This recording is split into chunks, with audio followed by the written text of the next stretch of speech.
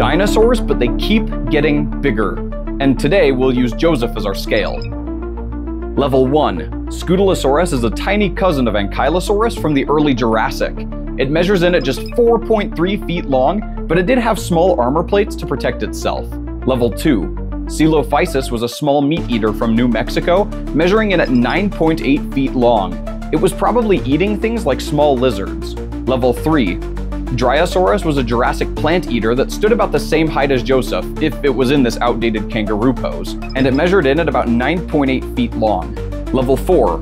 Utah Raptor was the biggest raptor, reaching up to about 20 to 23 feet in length.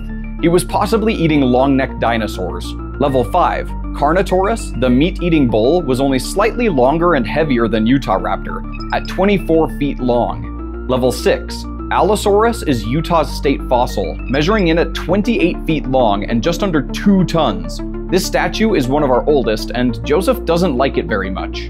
Level 7. Acrocanthosaurus was debatably only slightly smaller than T. rex, measuring in at 36 to 38 feet long. Still, I wouldn't want this thing to eat me. Level 8. Triceratops was shorter than Acrocanthosaurus at just 26 to 30 feet long, but it was heavier at 6 to 10 tons. Level 9. Diplodocus was a sauropod living alongside Allosaurus. This is Joseph next to a juvenile and a subadult, but the fully grown adults could get up to about 79 to 85 feet long and weigh up to 16 tons. And finally, level 10. This is just a subadult Brachiosaurus, but Joseph can already walk under it. An adult could measure around 72 feet long and up to 51 tons. Well, thanks for watching, guys. Please consider subscribing and comment below if you like this new video format.